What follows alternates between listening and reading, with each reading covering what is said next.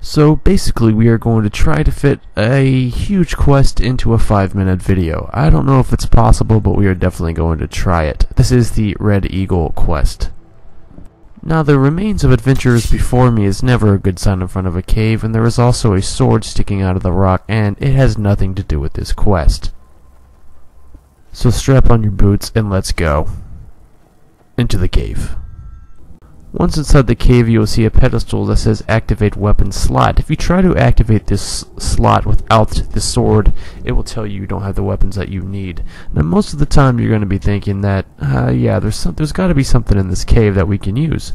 Maybe the sword's in here, or maybe there's a clue. And you'd be right, because there is. After running around like a maniac, you actually find the adventurer on the ground. He doesn't really have much on his person, but next to him is the Legend of the Red Eagle book. If you pick up this book, the quest will immediately start, and it will say Find Red Eagle's Sword.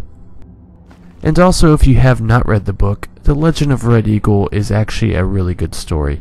Um, so yeah, catch up on your lore while you're at it basically go to your quest line, go to miscellaneous, and that's where under miscellaneous you will definitely see find Red Eagle's sword. Once you click both of those, you will be able to find it on the map, and that is definitely the easiest way to find it.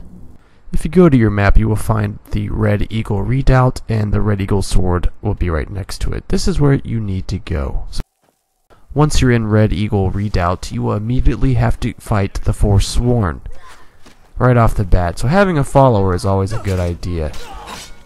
The one thing I hate about Forsworn is that they never carry anything good. You see that cave? You're gonna want to go in it. And once you do, guess what? You're gonna fight some more Forsworn, but these ones are actually a little bit stronger. And I like that because sometimes the game feels too easy, so having a little bit of competition is always a good good fun. Now I've never really cared for the Forsworn. I mean, the Forsworn Briarhearts are cool and all, but you only fight one of those every now and then. Most of the time it's Forsworn Pillagers. Uh, the Forsworn Mages aren't too bad either, but honestly, they're kind of weak. We're finally at the top, and maybe this is the guy with the sword. Yeah, the guy at the top of the stairs. He must be the man with the sword. I'm sure of it. It's gotta be. Well, I guess not. You're gonna keep going until you see a giant steel door. You can't miss it. Yep, there it is. Now you're getting really close. Really, really close. And you're gonna want to keep going. And I'm stuck on this ledge. Why am I stuck on this ledge? There we go. I am the king of special attacks. Check out my special attacks.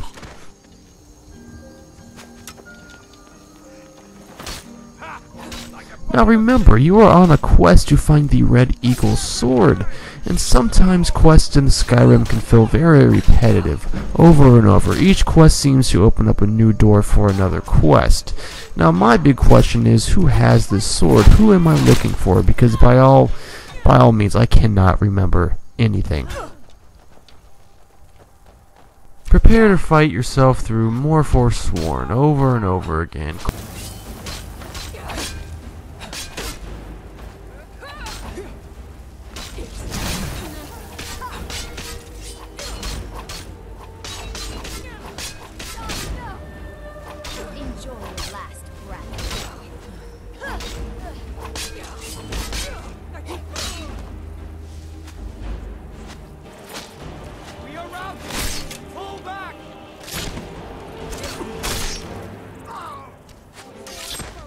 Okay, this is the staircase I remember. This is it. He's up here. He's up here. That's not him. No, where's he at? There he is.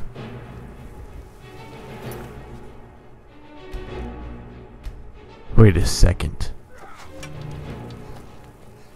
This guy can't have the sword. He's just a Briarheart. There's no way. Now, Briarhearts are, uh, tough bastards. They are they are strong. And the story behind them is actually very interesting. And if you're waiting for me to tell it, you can look it up yourself. Once you do defeat this Forsworn Briarheart, you will actually find that he is the one that is carrying the sword. There it is, Red Eagle's Fury.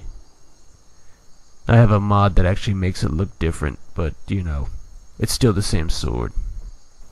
There was also a book called Red Eagle's Right. If you want to grab that, you can. If not, it affects literally nothing. But, you know, lore is always cool. I like to collect books, so.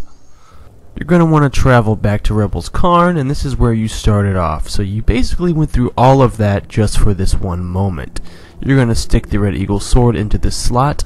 Now, some people choose not to do this quest because they actually want to keep the sword for themselves. Once you do stick it in here, remember, you won't be getting it back. Stick the sword in the slot and a door will magically open for you. Behind this door is Red Eagle himself, so make sure you are ready. I definitely like to use Dawnbreaker whenever I'm fighting the undead. Now he's gonna summon some skeletons. They're not too much to worry about. As for Red Eagle himself, he's a little bit tough, but nothing too serious. Dawnbreaker is actually pretty good against him. And the final killing blow, if you do get to that point, is actually pretty awesome.